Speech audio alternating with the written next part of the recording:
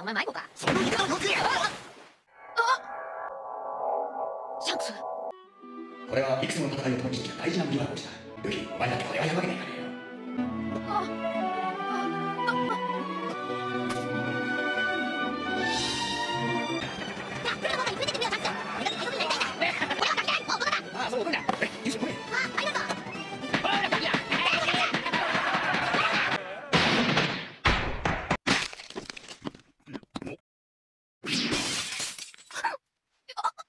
掃除が好きらしいなこれくらいの方がやりがいがある船長さん怪我はああ大丈夫問題ないなんで笑ってんだよあんなのかっこ悪いじゃないかなんで戦わないんだよもう知らんやけ食いかルフィうるさいお前何食べてるなんだ今の。お前が食ったのはゴムゴムの実だ。ゴムゴムの実は悪魔の実と言われて食えば全身ゴム人間そして一生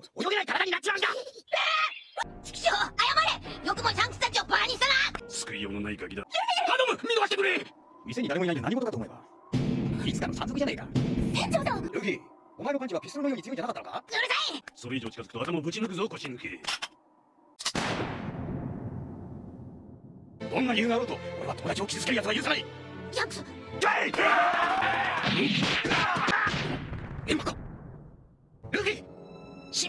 してたルフィが、えー、どうしようみんなあ博士バカヤバだごめんね縮めバカ死ぬのはおめえの方だ。なんせこの俺を怒らせたんだからな。あばよ。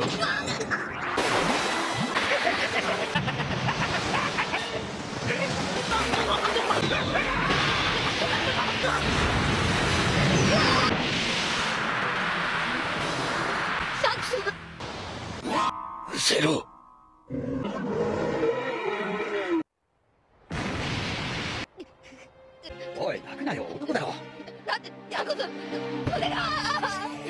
安いな腕が一本かい無事でよかったいちゃうんだねあ長い拠点だったがとうとうお別れだ寂しいなあまあ寂しいけどねもう連れてくなんて言わねえよ自分でなることにしたんだ海賊にはでどうせ連れてってやんねえよお前なんかが海賊になれるかなる俺はいつかこの一味にも負けない仲間を集めて世界一の大砲を見つけて絶対なってやる海賊王に俺たちを超えるかじゃあこの帽子をお前に預ける俺の大切な帽子だ大事にしろよ。